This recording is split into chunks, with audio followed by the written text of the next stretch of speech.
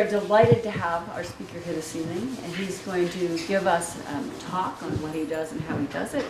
Uh, there'll be time at the end for questions.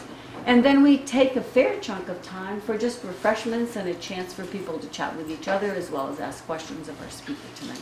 Uh, so that's it. Thank Thanks. you very much. I'm going to talk um, about my work, but uh, indirectly. Uh, and I'm going to talk about basically the lineage of printing uh, and how that has ended up in my lap.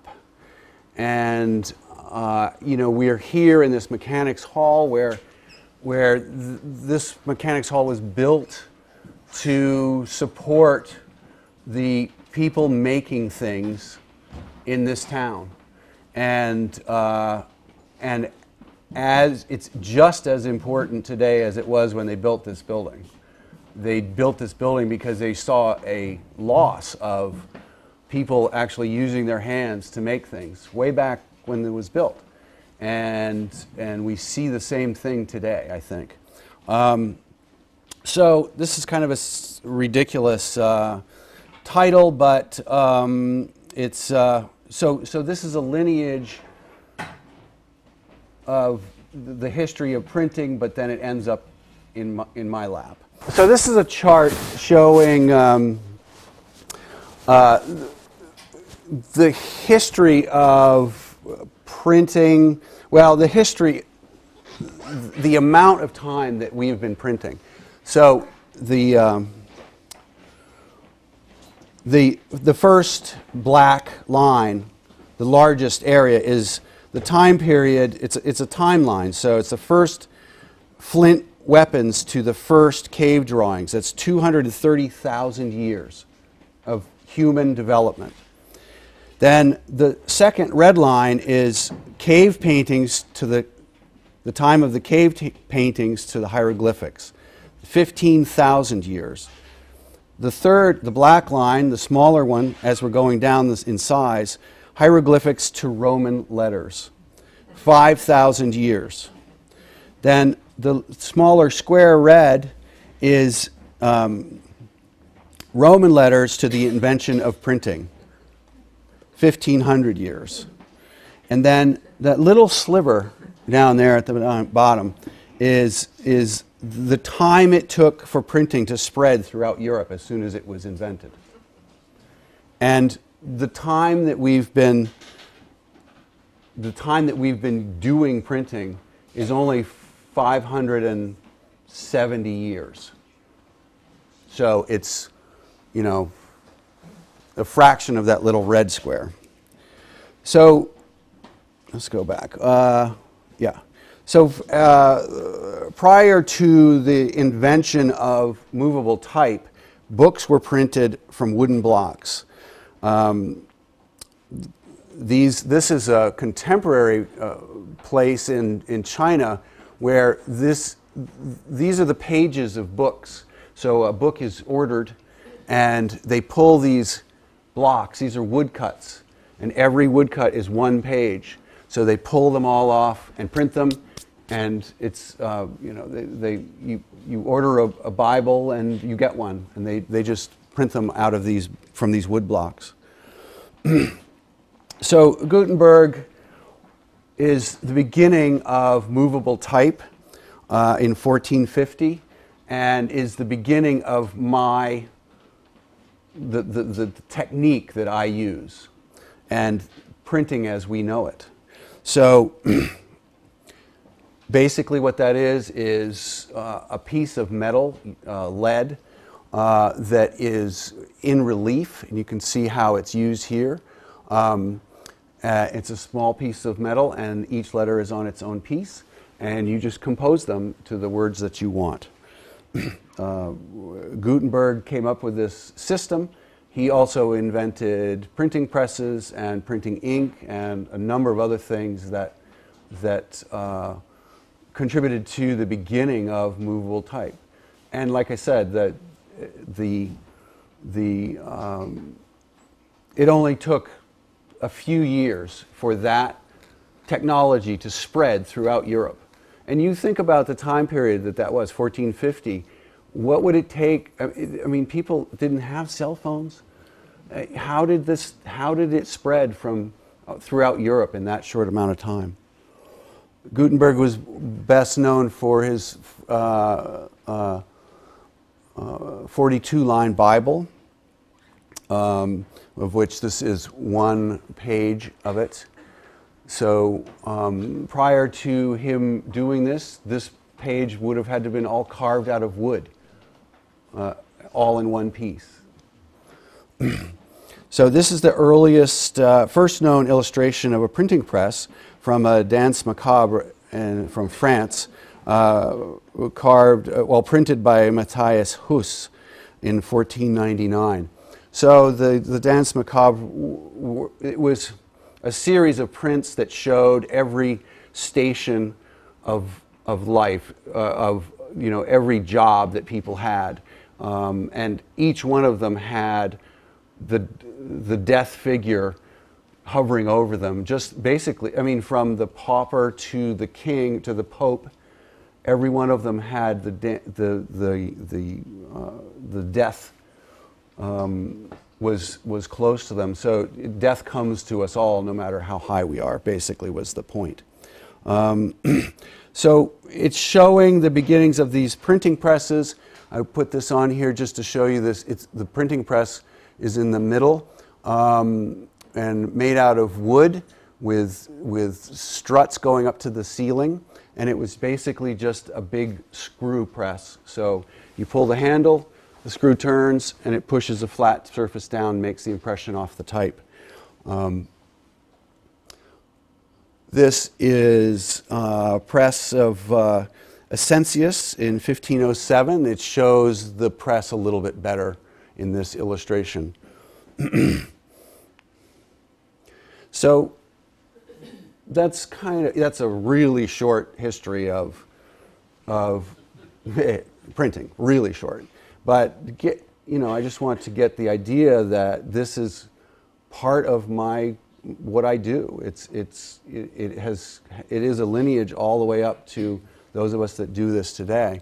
Um, this illustration is so so. Why is there so much printing in Maine? I, I, th- um, I think that's an important thing to, thing to think about. Um, eh, this is a, uh, a banner from the, the, it used to be owned by the Mechanics Hall, the mechanics. Um, and then the, the mechanics would, would host a parade. And I don't know how many of you have seen these banners. They're at the, the, they're at the uh, uh, Maine Historical Society now, aren't they? Yes. And um, they're beautiful. They're beautifully hand painted. And um, so each station of life, again, would have had a banner, and you'd march, and I guess they marched down the, the street and had a, had a parade. Uh, this one was for the, the printer. And um, it's a little hard to see. There's a printing press on the left, and uh, I think another printing press on the right. So uh, Archimedes lever, and that's the front of it. This is the back of it. The tyrant's foe and the people's friend. So, so, you know, th- there was a lot of printing. There always has been a lot of printing in Maine, and there is a lot of printing in Maine again. Um, uh, not on the massive commercial level that it used to be, but uh, we have more letterpress printers in this town in Portland than, or in the surrounding area than most, you know, you know, large sections of the country. Um, one of the reasons that we historically have a lot of printing here is because we had the resources, and so uh, the wood, the resources, the paper. So this is uh, um, the, the raw materials. This is a log drive in Island Falls in 1895. So the logs were being taken out of Maine and or or being produced into things in Maine. So we had we had lumber for building, but we had paper making and a number of other things that came out from the logs. Um, here's another interesting photograph. This is a log drive on the Saco River in 1894. So our rivers, the fact that Maine has the rivers that come that feed up into that resource, the log, the trees. So the trees would grow, they'd cut the trees, they'd put them in the rivers, and they were brought down to the, the shore. And, and all along the coast is where the factories were and the paper mills and, and the, the, the ships and, that could carry them to other places. This is a beautiful, I had to show this. This is a, um, the companies that made paper in this, in this area in, in, in Maine. Um, this is the Continental Paper Company anniversary booklet, Rumford Falls, 1905. So there's a pretty good sized factory, picture of one there. Um, so just some samples of what was made. Um, this is a picture of Rumford in 1900. It shows these companies the Rumford Falls Sulfite Company, capable of producing 40 tons of sulfite pulp per day, Rumford Falls Paper Company, producing up to 60 tons of paper a day. That's a lot of paper. Fort Hill Chem- Chemical Company, Continental Bag Company, producing 1 million papers, paper bags per day in 1900. Um, and that was that, that booklet that I just showed. International Paper Company and the Rumford Falls Envelope Company, all in that complex of right there in 1900. Uh, here's a shot of the St. Croix Pulp and Paper Company in Woodland, which is now Baileysville, in 1920, from an old uh, postcard. And here you, I put this in because you can see the rail line. So we used to have a lot of rail lines that ran through Maine because they were pulling all of this raw material and these resources out of where they were being produced and bringing them to where they were needed, where they were sold. Um, so the shipping of the materials, we had we have that. We had the ships. Um, this is uh, sailing vessels in the Portland docks. Um, and this is the Grand Trunk Railroad in Portland in 1900. So, I mean, that's a lot of trains. And so you can see this why printing did well here. so here's some, some images of some of the print shops. Um, uh, it was a prime place for printing to thrive. This print shop is the print shop of the Sanford Weekly Ledger. The ledger ran from 1892 to 1895 and later became the Sanford Tribune. So you can see those big old presses, those things weigh a lot. I should know, I've been moving them.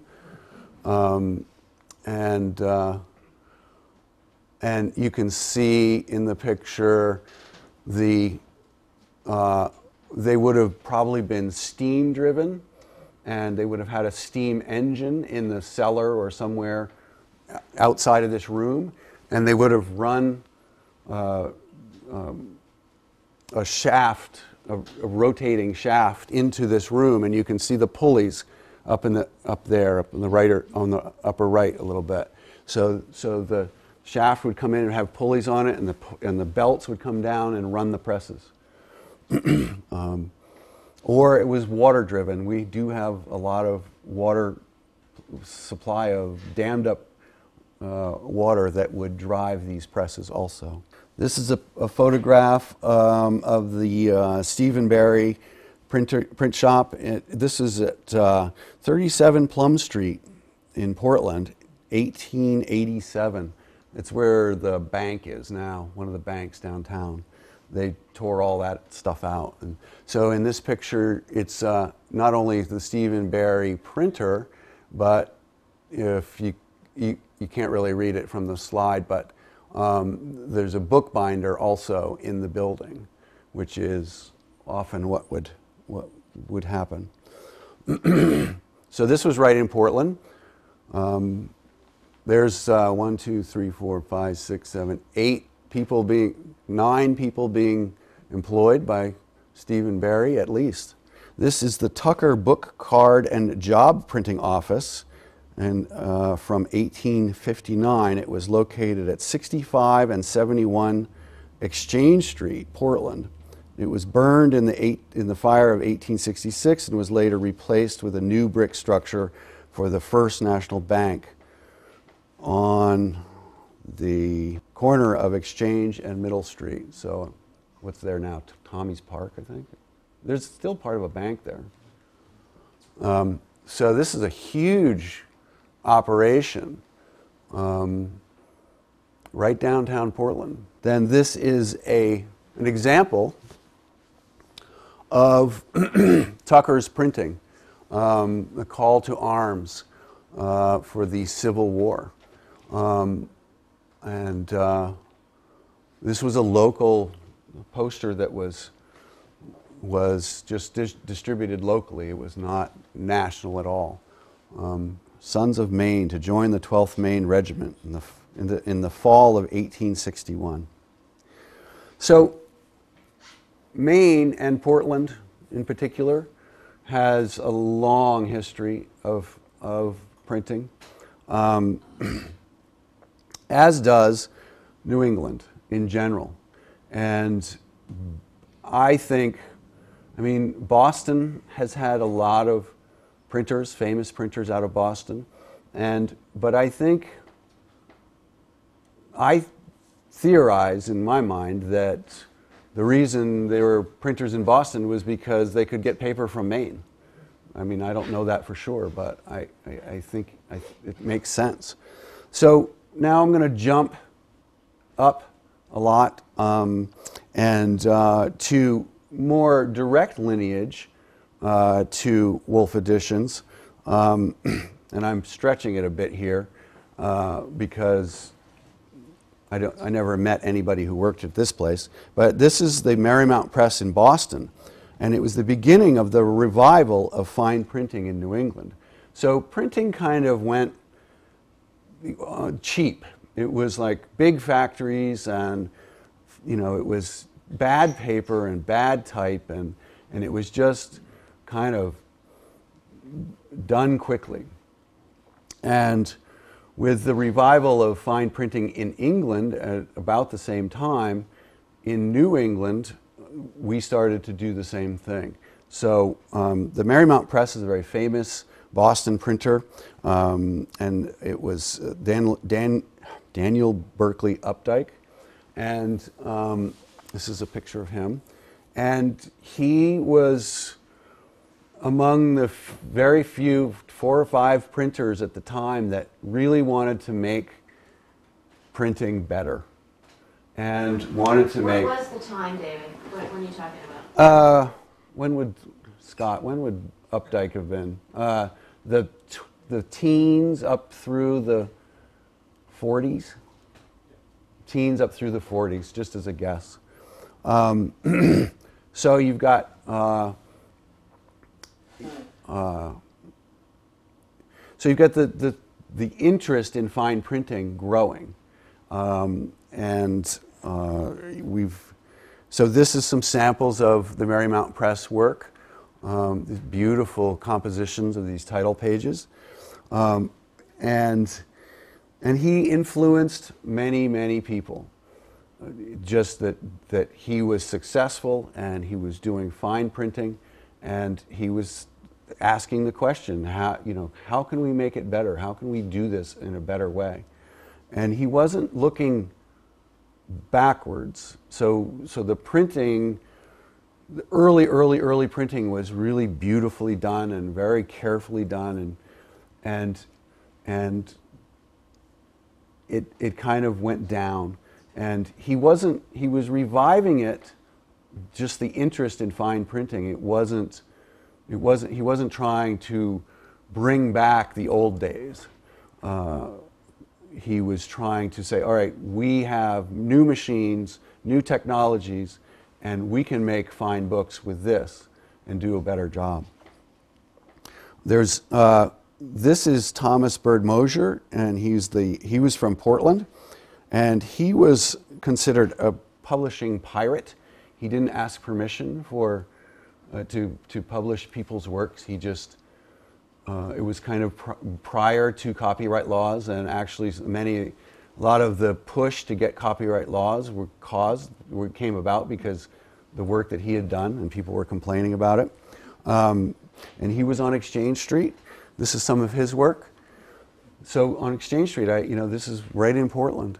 Um, some of these beautiful uh, designs, Art Nouveau. I was trying to find that word. Uh,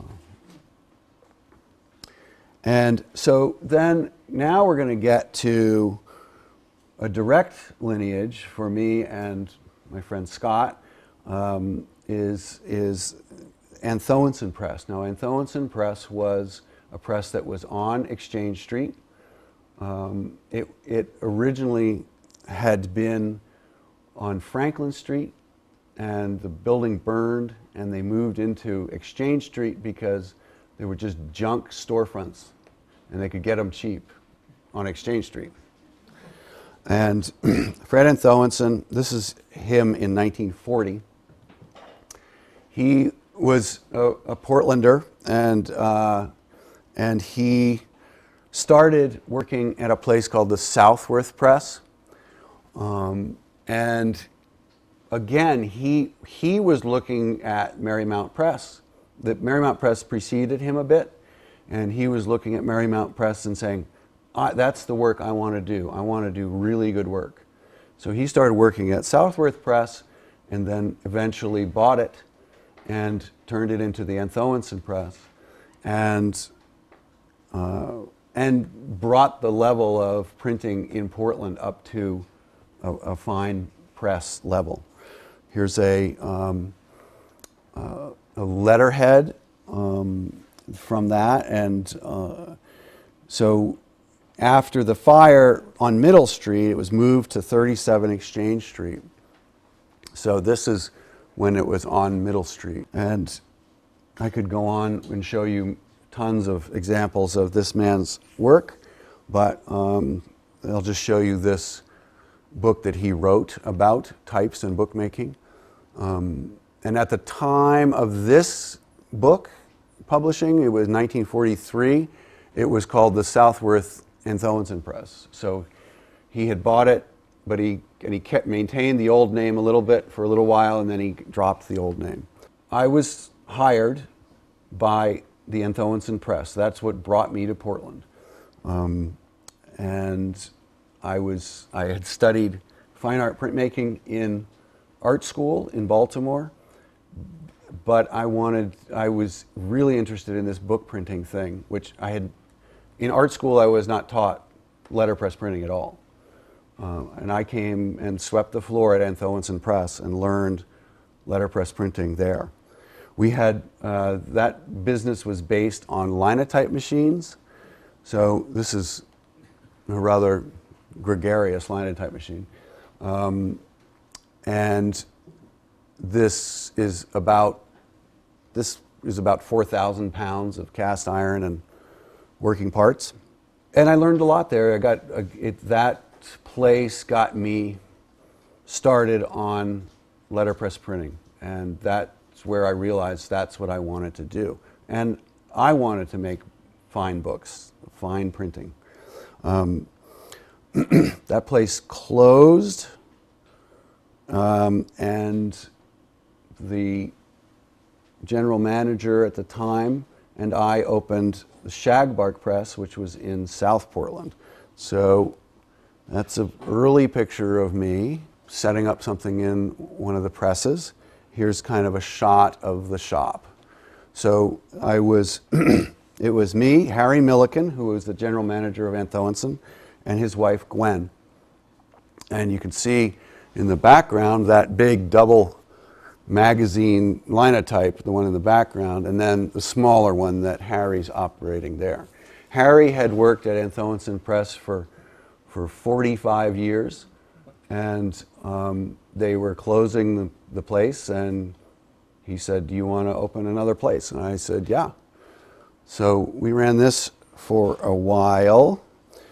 Um, I won't show you like tons of pictures of things that we did, but we did. I showed this one because it's local. the Tate House um, in 1991. What, what year did Anthoensen close? Oh. Ru- Roughly? It's, um, 87, yeah. So Harry wanted to retire. Uh, and we wanted to sell the business because he was going to retire. And I got a job offer at, at another place to work. And my friend Scott Vile bought the, the, the press from us. Um, and so Scott's press, he, he named it the Ascensius Press. And, uh, and I went, we, you know, I went off to, to work at the Stinehour Press.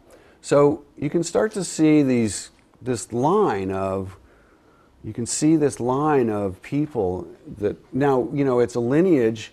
We're not, we're not related. We're only, we're related because we're all printers. And we, you know, I never met Fred Anthoensen. I worked at his shop, but he had died by the time I worked there. But I feel related to him. Um, I did work with Harry Millick, and, and I felt like he was, you know, a father figure to me. So there, there is this non-familiar thing that, that is this chain of, of people going forward. Um, so I went to work at the Stinehour Press, uh, which is a fairly well-known printing establishment um, in Vermont. And um, I'm, that's not me in that picture, but I kind of looked like that earlier. Um, this is the composition room. Stinehour Press produced thousands of books over the years. They started in 1950 and they closed in 98 or something like that, somewhere in there. This going this is a book produced for the Grolier Club and the Houghton Library, printed by the Stinehour Press. A book about the Merrymount Press. It's a little it's a little too much, but here's another title page of a book that they did. Beautiful composition, 1994. The Stinehour Press used um, a different kind of composition machine, um, which is called a, a, a monotype machine. This is a weird picture of one. And so when I decided to leave there, they were, that place was closing. I don't think these places all closed because I worked there. but I don't know. Um, so that place was closing, and I moved back to Portland, worked for Scott for a little while, and then just opened up my own studio again. And when the Stinehour Press completely closed, they asked me if I wanted to buy if I wanted to buy their composition department. So that was it was one, two, three, four, five composition machines. This thing weigh, this thing looks small, but it that weighs about I don't know, two thousand pounds, twenty five hundred. Yeah. So now we get up to I, you know, so I had had a print shop in Portland called Shagbark Press, but then I come back and I start Wolfe Editions. So here it is. it's in the Calderwood building. Um, I know this looks like the whole building's buried completely in snow, but the embankment goes up there. but it was a lot of snow. My interest in, I have a strong interest in fine art, and I've always had that. And so my shop combines fine art with the typography. Um, and there are some other, there are other uh, letterpress shops around, fairly close, and everybody has their own kind of niche, and uh, and and they've got um, my friend Pilar, uh, who is running the. Um, is she here? Yes. In, in Portland, she's she's running the Pickwick Press, um, independent press, and that's more of a of a uh, access, open access, or you know, community print shop. And Scott's, I, I don't, I can't describe everybody's place, but Scott's shop has a certain niche, and my shop has a niche, and you know, we try not to step on each other's toes. We try not to. So uh, the inside of the shop, this black and white photograph just looks like it's all one big machine. Um, but it's on it's at 61 Pleasant Street.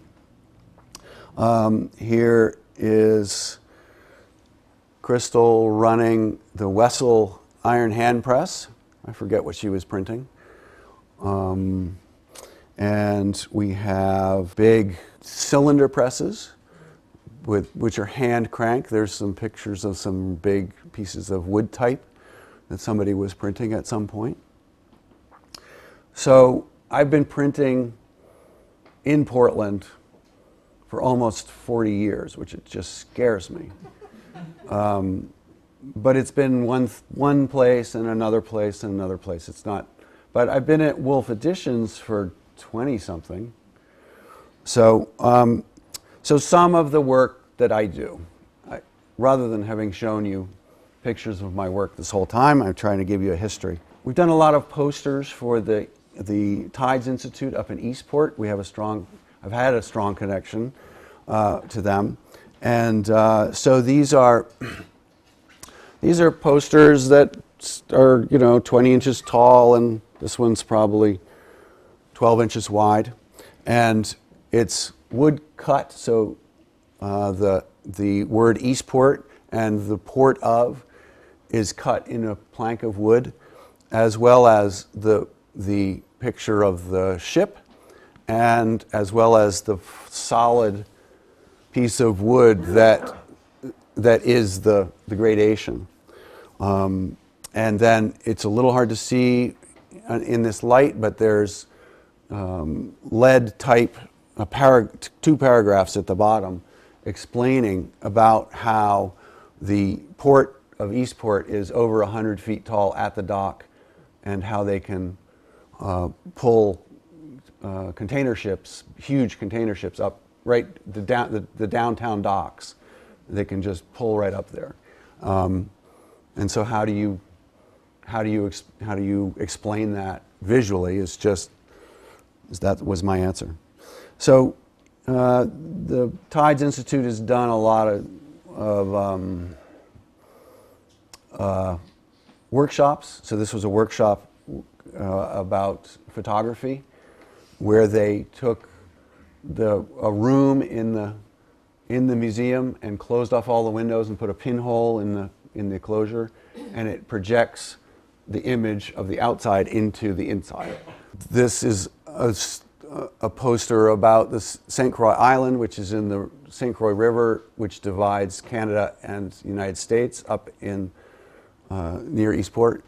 And uh, in, in, the, in 1604, the French came and saw this island. It's, re- it's really out in the middle of the river. It's a huge river, and it's, and it's got fresh water coming down and salt water coming in. And they thought this island would be great to, to colonize, to, to, to land there and build a little town there um, because it, they could defend it. And they did that. They brought all the stuff that they needed, the building materials they built there. They settled in for the winter. And in the winter, the ice comes down the river and builds up on the side of, and they couldn't get off the island and they ran out of water. And the coloration on the left is kind of a symbol that it was, um, it was like 50 to 60 percent of the population died of scurvy the first winter. So, and so it's just a poster telling that. Sardine, maple leaf. So these are combinations of woodcuts of my design and metal type, typographic elements. Eastport Salmon Festival, so we do these posters. We do books. This is um, Allison Hildreth's um, imagery, who is a local artist, and Jonathan Aldridge, who is a local poet. The work that I'm coming out of is mostly book work. So at, at Anthoensen Press and at, at Shagbark Press and Stinehour Press and Ascensius Press, we did book work mostly. In the last 15 years, there's been hardly any book work, so we branch off into other things. Um, but we're seeing more interest in the book work coming back. So we're pushing, my son and I are pushing back into that. So we're going to be doing more of that. Um, but some of the other things that we've done, uh, you know, a, an, a, a wrapper for a CD, mu- a music CD. Remember the music used to come on these things? and you know certificates. For, I mean, this is the Baxter Society, which is a local um, book collecting uh, group, uh, and so and not so much now, but in the past have done things like wedding invites and things like that. So one aspect of what we what I've done is teaching. So this was a this is a bad color. Um, this is a group. Uh, this is a master class from uh, Bowdoin College, and these are uh, art students at Bowdoin that came, and the woman holding the print wa- is a fairly well-known artist, and she came, and the class all together in my studio made this, the print with her, so they could learn that. Um, you know, it's you got to teach. You've got to. Uh, I don't. I don't teach full time, but I teach as much as I can. Um, uh, so one another aspect that we've that I've done at Wolfe Editions is to have uh, one-on-one teaching situations. So um, this was my first master printer training program. Some people get really wiggy about you know the, the name master printer and they're like well who are you to call somebody a master printer and who, whoever called you a master printer i don't know but um, so there's lisa pixley. And she was she worked in the shop for three years i think to to to learn technically how to print but also how to to learn to work with other people because as a in the fine art printing field a master printer is somebody who is a technician who works with the artist and helps the artist to realize their goal of what they want to make. And and so to do that job you have to understand people. You have to know when to make a suggestion and know when to back off and let let them make their mistakes um, or whatever you know it, so it's so um, so it, it was there was some technical training involved but a lot of it was just working with uh, other artists one of the artists that we've been working with for a long time now is charlie hewitt um, and he lives in portland and we do a lot of work for him. We've been working for him for a long time. There's a picture. No, that's not Charlie. That's Charlie up there. That's fearsome. so, um, so that's one thing that we've done. And Pilar, and I'm sorry, Pilar, I don't have a picture of you. but she's right there. She's right there. And Pilar came and worked for a number of years in the shop as in the master printer training program. So in the old guild system, which printing was, that's how printing was taught and how it was organized. Uh, you'd have an apprentice and you'd be a journeyman and you'd work your way up and you'd become a master. And a master was somebody who had their own place. That's really all it meant. I mean, so, somebody who knew what they were doing, but you could have a really, really skilled journeyman but they weren't a master until they had their own place, till, till they were the boss. And so both of the people that have done this program have their own place.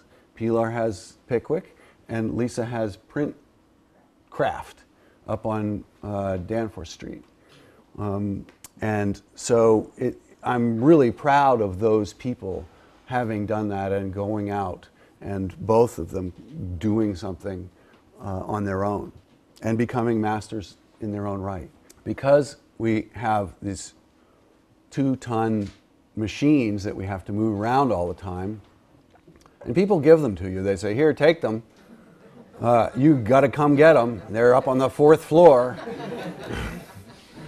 but we've learned, you know, we learned how to move stuff, and so we get called.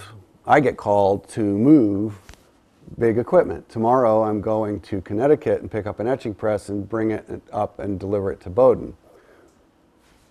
So, uh, just for hire.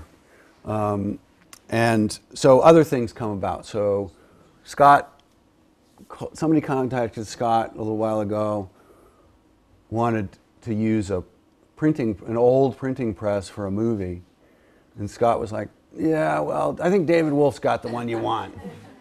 so, he, so they called me, and I was like, Yeah, I don't have too much going on right now. Let's, we'll do it.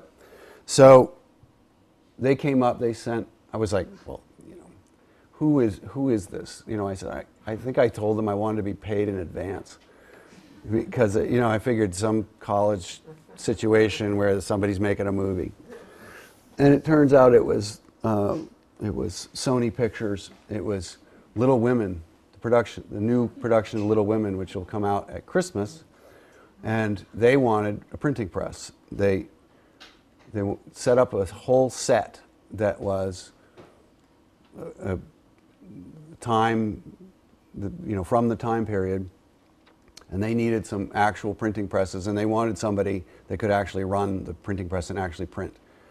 So I kind of got pulled into it, but it was kind of exciting. So we, we packed up one, two, three iron hand presses from the mid, date, dating from the mid 1800s, plus type cabinet and a bunch of other stuff.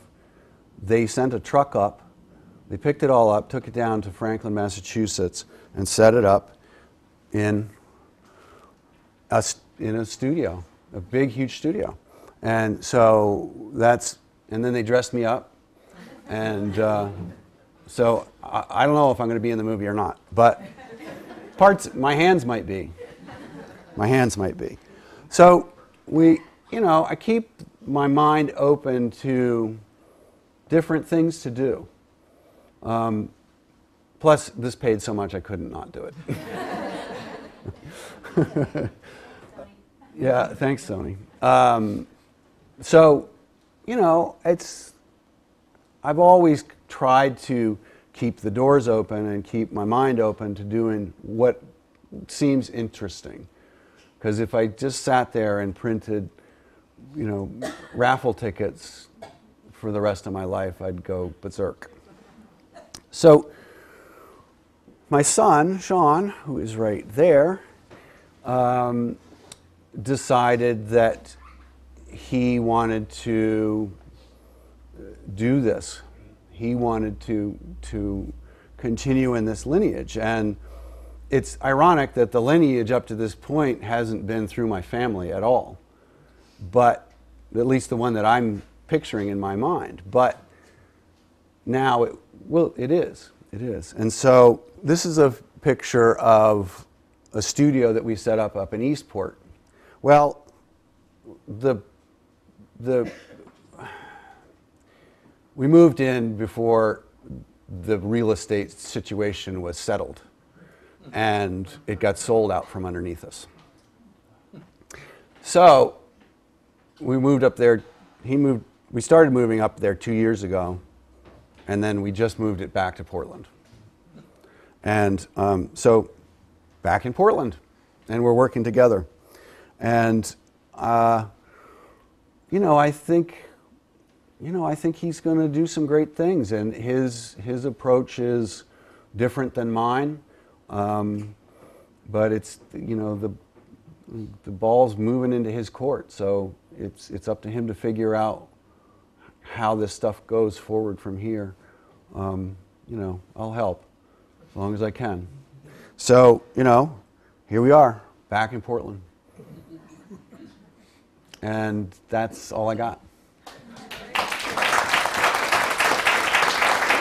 Oh, Scott. Know, One of the, the interesting things that I was just thinking about with Lineage is the fact that um, last year when I moved, I started remelting a lot of the lead that I have.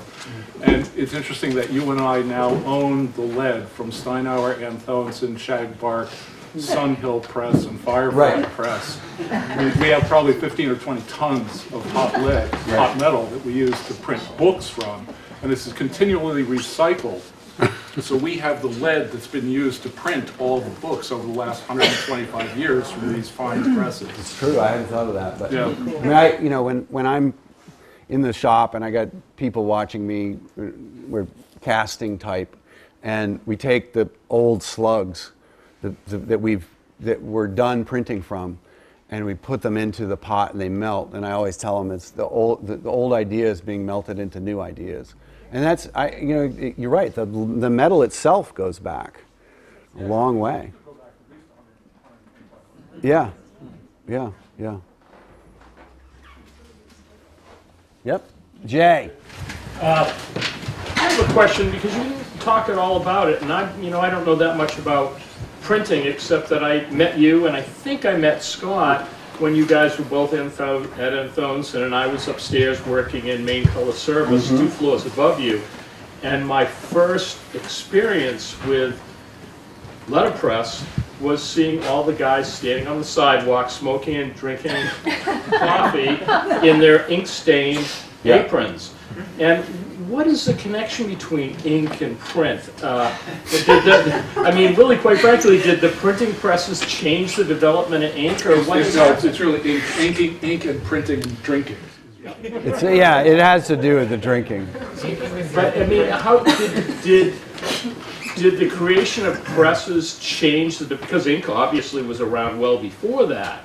Well, the, all right. So Gutenberg. One of the things that Gutenberg, other than the pre, the movable type, it, the was ink. He he did develop, you know, the the some of the ink. You know, he changed paint into ink.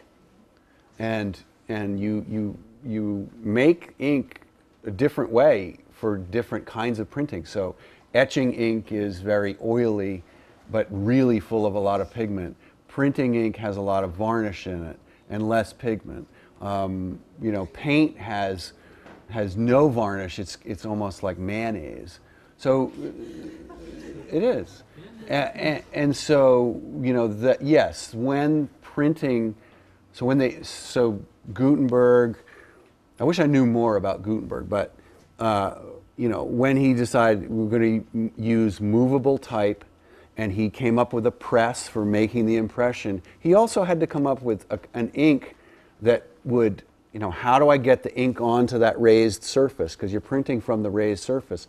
And how do I, how do I make it sticky so it sticks? And, you know, how do I make it go into the paper?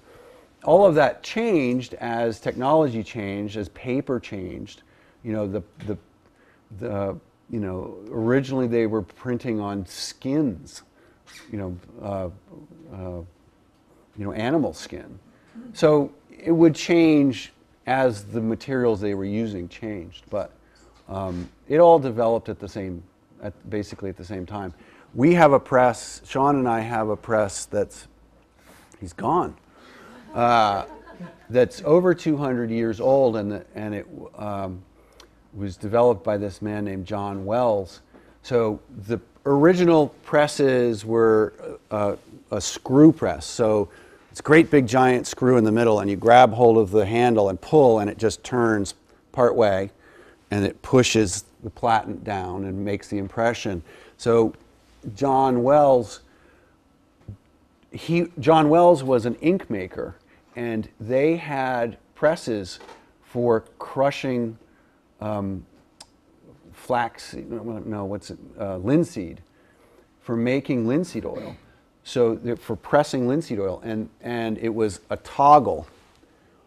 So you, you, take, you take a bent toggle and you straighten it out, and it's pushing down. So he took the, that idea from pressing linseed and applied it to making a printing press and made a, a printing press that was something like 80 times stronger than the screw press. Um, so there all these developments and so then you know somebody comes up with a different kind of paper and then somebody's got to got to make the the ink doesn't quite work the same and so they got to it, it all worked together they were it printing press was like the the invention of the printing press was like the invention of the airplane or like the invention of the computer there there's these really major or the invention of the linotype machine. They're really major things that changed how much how how how much the knowledge was spread. So you you go from setting type where you have to take one piece out of a out of a case put it in and you're going like this.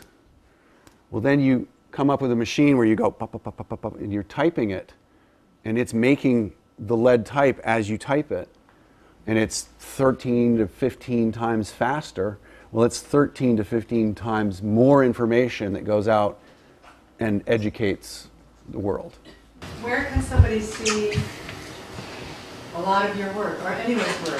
Censius, I mean, does the library collect uh, some of the work, or do, God forbid, folks ever have exhibitions? Because for, for those of us, I mean, I've always loved letterpress. I've had very little contact with it, and just to see There are exhibitions here and there. Um, uh, yes? Uh, The print room at Bowdoin is pretty good. Yeah. um, Source. Um, A lot of our work is up at Bowdoin. Yeah, and so if you know what you want to look at, or you d- you don't know, you can always talk to one of the reference librarians um, and make a selection of things which they can then bring out. It may be a two-step process, you might can't show up Mm-hmm. one day and have them pull it all out, but That's at it's, the library, the print room at the library? no, uh, it- the- it's called the Rare Book Room, Oh, yeah. Rare Book Collection, yeah, at Bowdoin College, and it's in the library, second floor. Yeah, they have a pretty active. Yeah. um, yeah. And the Portland Museum has a book arts collection, which is mostly artist books, but a lot of them involve printing um, And by the both of these University of gentlemen. Southern Maine has And University of Southern Maine. So we have lots of resources, actually, Um, but you have to kind of, The, as far as my own work, um, we have a gallery space that's in the building where we are, and it the the shows switch out, but I'm I usually put up a show once a year at least. Um, I'm open to visitors if they call ahead and make an appointment. Um, I have thousands and thousands of pieces of paper that people could look at. And I, you know, if I get, you know, if I can schedule it so that, it, you know, I, I'm open to people coming to see the shop. It also makes me think about the, the work of a printer, and that is, you know, do you have a copy of everything you've ever printed? We're supposed to. Um, you know, I think different printers do things. Some print, some printers make sure they ha- still have one of everything they've ever done. I'm not that careful, um, and my career has gone up and down. And I've worked in some places where the product that I'd have a sample of was worth some money, and I needed to pay rent. So um, I sold my so, sort of my early collection of stuff that I had done before Wolfe Editions to um, to Colby. Now I don't know what there was a gentleman up there collecting um, fine printers from Maine, uh, and, but he's gone now. So I don't know what that collection, you know, what they've done with that collection, but um, yeah, it was for the library. Yeah, but um, I have a lot of I, I in trying to find images for this talk. I was looking for some of the stuff that I printed. I was involved in printing at Anthoensen Press, and I I don't have anymore. I, I got rid of it. like all those quarterly publications. A lot of the work that Anthoensen did was quarterly publications, so we were printing, um, you know, a 100, 120, 30 page book four times a year, and we had five or six of those when I started. It was a lot. That's a lot. That's a lot of typesetting. All those all those pages typeset by with a with a machine, but all in lead. And it was years and years and years of of the American Oxonian. Well, Scott has all those now. I don't know if you you're still keeping them, aren't you? Yeah, yeah. Type changes with the technology that is it's being seen on and and um, and the sensibility, you know, the, the the the basic sensibility behind it changes also. Um, you know, when when Gutenberg made the Bible, uh, the, he he used black letter, what I call black letter, um, the Gothic, you know, text black letter, and and they would you know you know what I'm talking about that kind of type. So a lot of people call it German type. It looks very German. Um, well, people who read, that was what they were used to reading, and they could read that very nicely, very fluently. And their, how they learned to read was with that type. And when they started using Roman typefaces as, like we are used to, they couldn't read them. They had trouble reading them. So, um, but that changed. People got more used to the Roman, and now people have trouble reading the black letter. And even a step further than that, um, you know, I have trouble reading a book on a computer, but my kids, well, not my kids, but kids have trouble reading a book and can, can much prefer to read it on a, on a, on a computer. So it, we change, we, we have changed as much as the technology has changed. And um, I'm not saying it's for better or worse, I don't know. Uh, there's, you know, we, we, get, we get information a lot faster now. I don't know if that's good, but, you know, we, it, who knows? I, you know, when, when they started, when when they went from setting type by hand, when, when they went from writing books by hand with a pen to typesetting it, picking the ones out one at a time, people thought it was the devil's work. They, they thought it was, I thought they thought the end of the world was near, and literally. And, uh, and then the same thing happened when the typesetting was being done by hand and they came up with a machine that would go 15 times faster. They thought that was the end of the world. And, and the computer is the same way. Um, and then the computer to, the, to this, this ridiculous thing. Um, you know, that's another step from this.